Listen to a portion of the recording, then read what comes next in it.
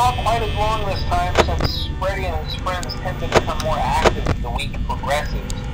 Uh, it might be a good idea to peek at those cameras while I talk, just to make sure everyone's in their proper place, you know. Uh, interestingly enough, Freddy himself doesn't come off stage very often. I've heard he becomes a lot more active in the dark, though, so hey, I guess that's one more reason not to run out of power, right? Uh, I also want to emphasize the importance of using your door lights. Uh, there are blind spots in your camera view, and those blind spots happen to be right outside your doors.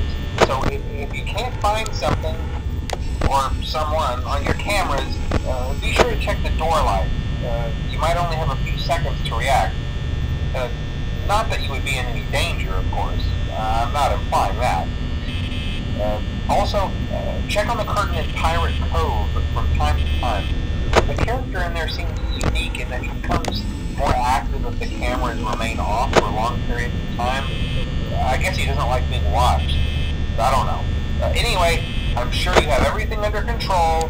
Uh, talk to you soon.